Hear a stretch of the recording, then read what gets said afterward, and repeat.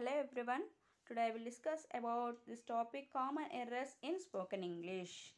For the speakers of English, especially for those who learned it as second language, have to face a wide range of problems.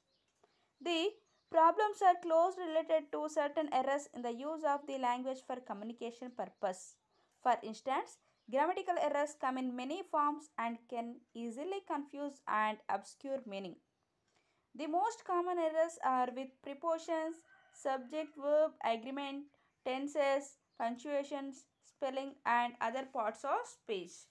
For example, so in this topic, so when we can put the, for example, what is the meaning of prepositions? Preposition. So how many types of prepositions? Three. So that what are they called? Simple, compound, and complex. For example, where we can use at, in. So that when we are very confused. And next one subject and verb agreement. So verb agreement, which one we call V1, V2, V3, V4. V4 nothing but V1 plus inform. Where we can use, for example, become, became, become. Which one we can use it to? And next one, tenses. How many tenses we have? Past tense, present tense, and future tense. When we are added the ed form, when we are added the sres, we are confused about the tenses. And punctuation.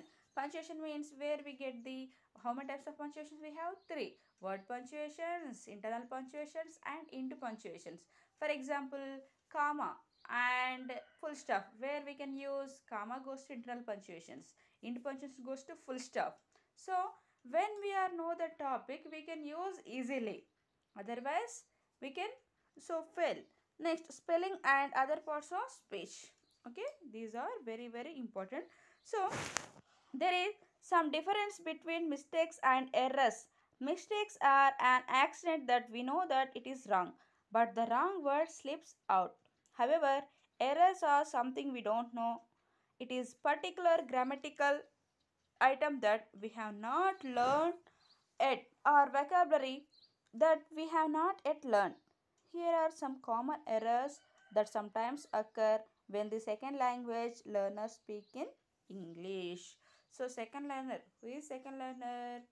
So one who learn the topic that one we call second learner. So here first one old and long time. So here we have the incorrect form and correct form. So here she was my old friend. You may have known for a long time but she might be offended if you use the word old as it implies age. As for example old means how old are you? So here we are referred to the age purpose. But here old means aged but correct. She was a friend who have known for a long time. This is the correct way.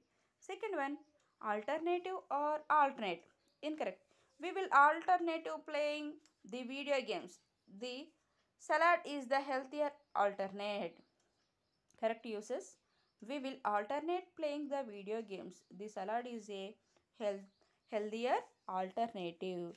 So here we can see that two examples. First one goes to age purpose. Second one goes to health issues purpose. Next one played as in having fun incorrect so if in reference to adults and if not in a sport or a game i played with my friends friday night. So i hung out went out or had fun with my friends friday night. This one is correct way. Next by my own on my own by myself. So which one we can use? We don't know exactly. So here incorrect. I got the new job my own. Correct way, I got the new job on my own by myself. Myself goes to reflexive pronoun. Okay. Next, in my point of view or from, in my view, in my opinion, these are called incorrect way. In my point of view, the language learning program really helps. Correct way. From my point of view, the language learning program really help or in my view, the language program really helps. So here we can form the from my point of view and another one really help us in my view. So with consonant practice and con concentration, one can overcome these errors. One should be aware of one's weak areas in the language and focus should be shifted towards such areas and use the correct ones again, again and again will help us in speaking flawless and fluent in English. Okay. So next time you will don't do any mistakes. Okay. Thank you for watching.